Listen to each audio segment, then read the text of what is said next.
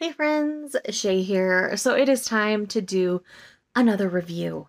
This one's going to be a manga review about a volume of manga that truly is going to be, in my opinion, required reading for anyone who reads queer manga. So let's go ahead and dive in. This volume of manga is Boy Meets Maria by Peyo.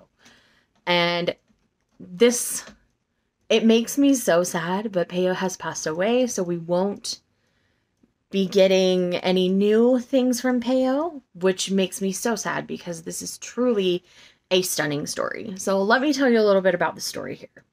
So we have this young man named Taiga. His dream was to be a hero, but eventually that morphed into being an actor who played heroes over time. So as he enters high school, he wants to sign up for the theater slash drama club. He shows up at the club and he sees this person dancing on stage in a dress and immediately falls in love. He's heard that their name is Maria and he goes chasing after Maria to proclaim his feelings, all of these kinds of things.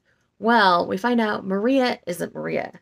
It's Amira, who is male, has a penis, all those kinds of things. But essentially, this is a journey about not only Taiga accepting Amira as they are, but Amira learning who they are and how they are comfortable. This is such a stunning piece about gender exploration. In a world where people are pushed into pigeonholed into things, it is beautiful to see these two teens explore their feelings not only for each other, but in the situation that they're in in general in high school. It also puts their classmates in a situation where they need to decide if they're going to accept these two teens for who they are or if they're going to judge them by society standards, as Japan is still very closed when it comes to queer matters. This is not only beautifully drawn, like this is very similar in art style to me to something like Our Dreams at Dusk, but the power of the storytelling is the same. Though Our Dreams at Dusk is very different and a lot darker, there are very similar tones in here. We do see slander towards queer people. We see the Japanese society at large and how they feel about queer people. And this truly bridges that gap and teaches this group of teenagers how to accept people for who they are. Because there are points where Taiga and Amira have conversations where Amira asks, Are you in love with the girl side of me or the boy side of me? And they're such poignant conversations. And obviously, we're led to Taiga loving Amira no matter who they are and what they decide to be dressed as a man, dressed as a woman, they feel the same. And it's amazing. And I love how beautiful and gentle the story the storytelling feels despite having such heavy tones and topics within it. Um, this is also a clean piece of manga. There's no sexy scenes within it. And I'm okay with that. They are high schoolers. They're just learning about their gender identities themselves. I don't think we need to immediately have them boning each other. So I'm okay that that is not in this particular volume. Um, if we had had an opportunity to have multiple volumes and that came down the road, that would be a really interesting conversation to have at that point.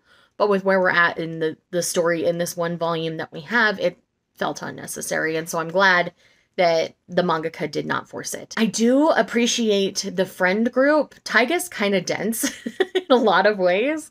And he has these two friends who basically lay it out in the most simple terms to make sure he understands how his behavior is affecting those around him.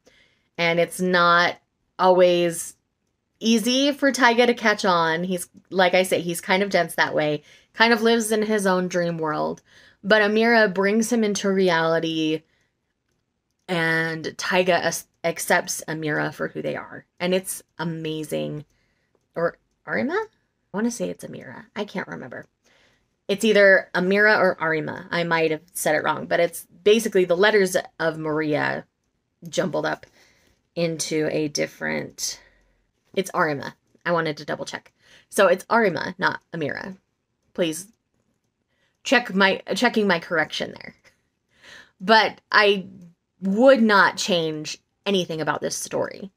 It's very rare for me to say that a piece of manga is perfect. But to me, this is perfect.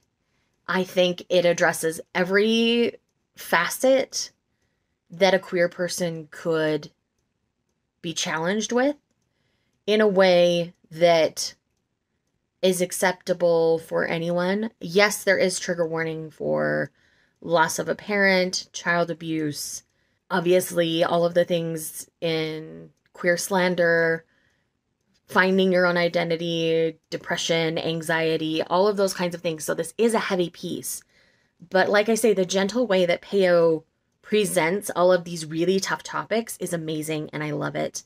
Um, so, this is a 10 out of 10 would recommend. I do think everybody needs to be reading this particular piece of manga.